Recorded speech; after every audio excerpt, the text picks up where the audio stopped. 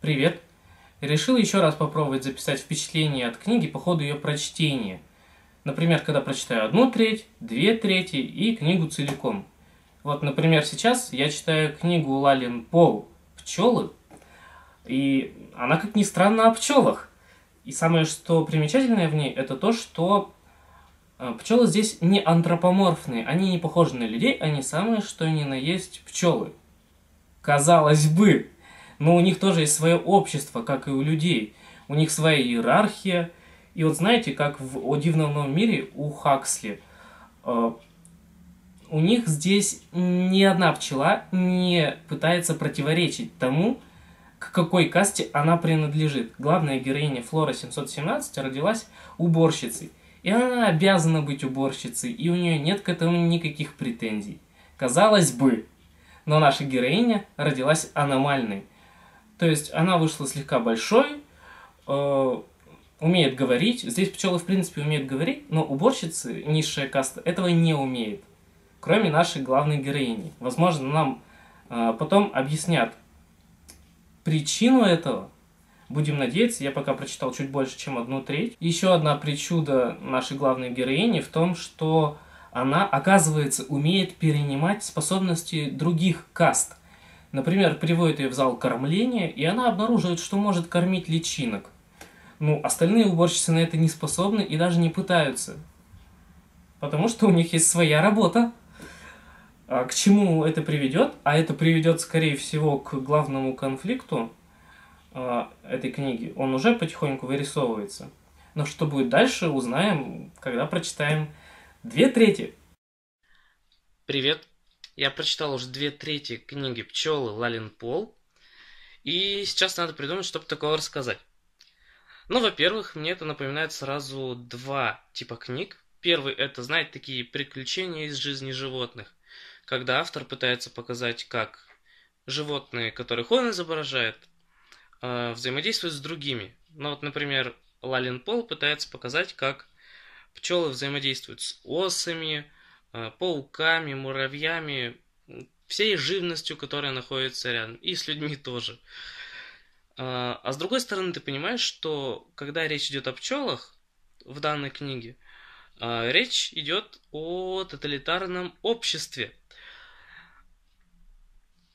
Потому что роль отдельной пчелы, отдельная пчела не играет никакой роли по сравнению с ценностью улья, королевы. Вот это вот. Что здесь происходит с главной героиней? У нее до сих пор конфликт с э, ульем. Ну, пока еще не особо обостренный, но здесь, как и в любом тоталитарном э, романе, есть что-то вроде тайной полиции. И я чувствую, что за ней тоже упорно следят потому что она, ну, как было показано в самом начале книги, не такая, как все. Но помимо э, этого личного конфликта, э, приближается зима, и у пчел проблема, потому что нектар найти сложно, трутни до сих пор объедает весь улей, э, и приходится чем-то жертвовать. Э, жертвы оказываются неожиданными, Флора 717, главная героиня, узнает много нового о строении э, общества, и в отличие от остальных пчел, вообще начинает в это вдумываться. То есть, а как-то поднимается, да, над э, всем остальным обществом. И посмотрим, к чему это приведет. Я тут почитал Википедию, про отдельные типы пчел. И что-то я чувствую, что ничем хорошим это не закончится, если Лалин Пол продолжит э, действовать в духе науки, в духе того, что на самом деле известно о пчелах. А, ладно. Посмотрим, что будет дальше. Пока мне нравится. Это, знаете, это не какая-то великая такая книга, которая вот станет классикой и все такое. Но ведь не каждая книга должна быть такой. Книги должно быть интересно читать. Мне интересно читать пчел.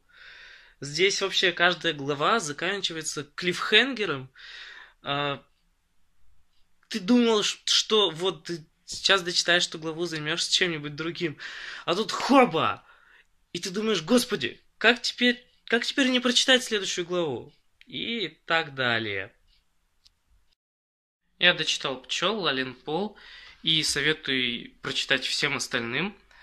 Хотя, как я уже сказал, эта книга не первостепенной важности в мировой литературе, но вот когда будете читать, читать основные антиутопии, Оруэлла, Хаксли и там, допустим, Брэдбери, включите в список хотя бы для сравнения пчел Лалин Пол, потому что это э, антиутопия довольно оригинальная, честно.